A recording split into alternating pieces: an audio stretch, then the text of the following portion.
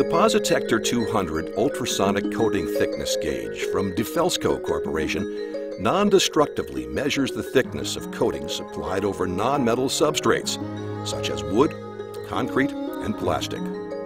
In this video, we discuss tips and techniques for measuring coatings with rough surfaces. Measuring coatings with rough surfaces can be a challenge for any measurement method, ultrasonic testing is no exception. But the Positector 200 is well equipped to handle these situations. Rough or textured coating surfaces are often the result of the brushing, rolling, or spraying application method. Sometimes texturing is deliberately produced for reasons such as creating a non-skid surface, cooling structures by reflecting the sun's rays, protecting advanced fabrication materials, sealing and waterproofing rough substrates, or simply for aesthetic reasons.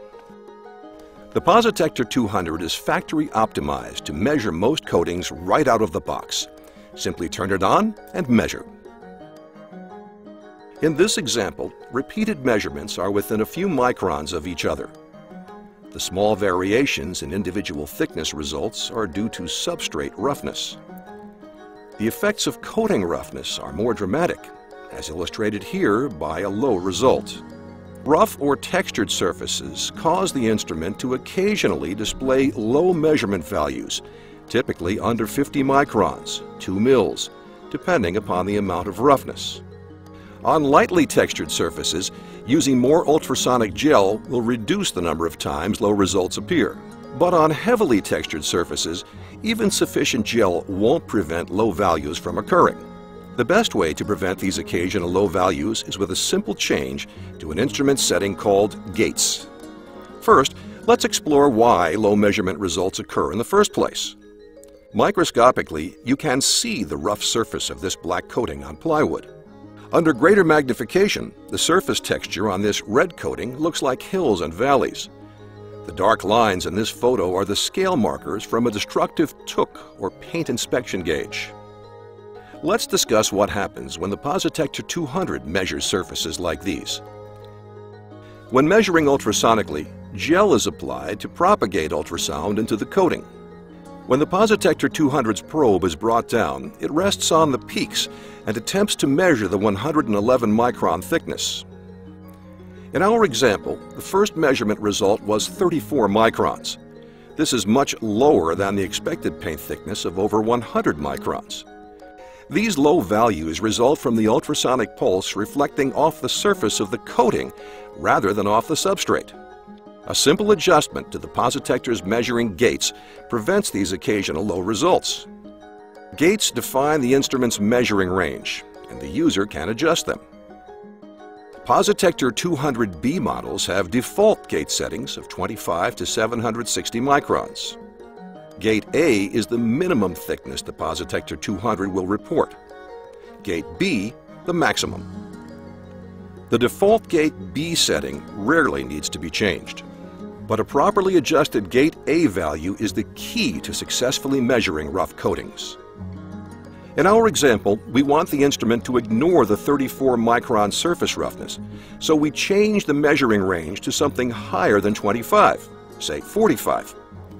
Now, within the new measuring range of 45 to 760 microns, the 34 micron result is ignored, and the next loudest echo is reported. By increasing gate A, we effectively tell the gauge to ignore the effects of surface roughness because the Positector 200 can only report thickness values within its measuring range, or gates. Let's go over that again.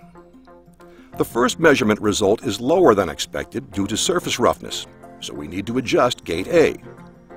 Access the Positector's menu by pressing the middle button. Using the minus button, scroll down to Cal Settings. Press the middle button to select, press it again to select Gates. The default measurement range is approximately 25 to 760 microns. Using the plus button, Gate A is increased to 45 microns. Since the 31 micron measurement result is no longer within the gates or measuring range, the gauge immediately recalculates thickness using the next loudest echo. The thickness result immediately changes to the correct value of 111 microns. Measure again with the new Gate A value. Repeated measurements confirm that the Positector 200 is no longer influenced by the surface texture. Here's how the process of changing Gate A would look on a Positector 200B Advanced model. The graphical display shows two peaks, but since the surface roughness generated the loudest echo, that value was reported. When gate A is raised beyond the roughness using the plus button, the positector immediately reports the next loudest echo, the one that correctly represents the paint thickness at 111 microns.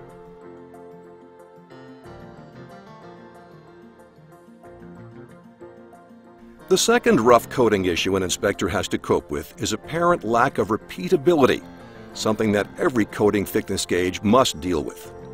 Notice how a series of measurements are not always the same. Close, but not perfectly repeatable. This occurs with any measurement technique.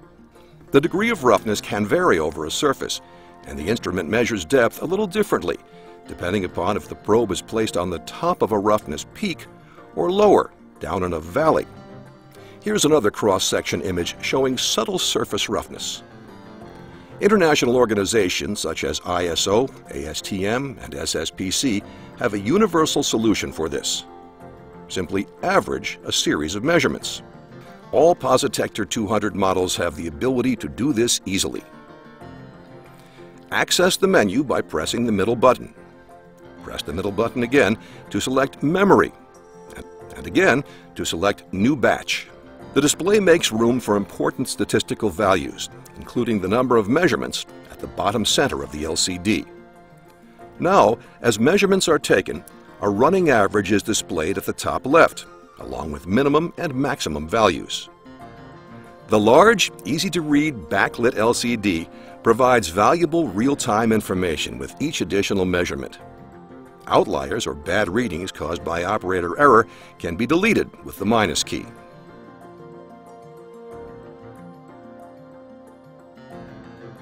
After eight measurements are taken, ranging from a high of 121 to a low of 112 microns, the average thickness is determined to be 116 microns. To recap, when measuring on rough surfaces, raise the value of gate A to not more than half the expected coating thickness, and use memory to average a series of measurements. These two simple steps will provide meaningful thickness measurement results on coatings with rough surfaces.